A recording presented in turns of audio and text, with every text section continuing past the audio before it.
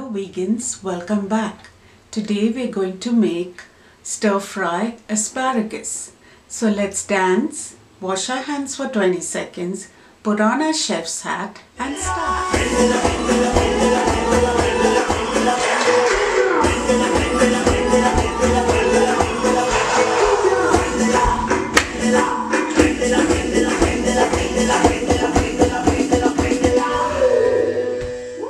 So first let's start off with the ingredients. We have asparagus, nutritional yeast, salt, hemp seed, red chilies, garlic powder, pepper and sesame seeds.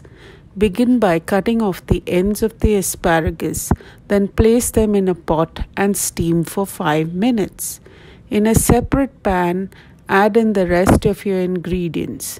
Begin with your red chilies and moving on to the powders. Then add your asparagus to the pan, mix and cook for 15 minutes. And here's the finished product. My thought for today don't look down on people on your way up. You'll meet them on your way down.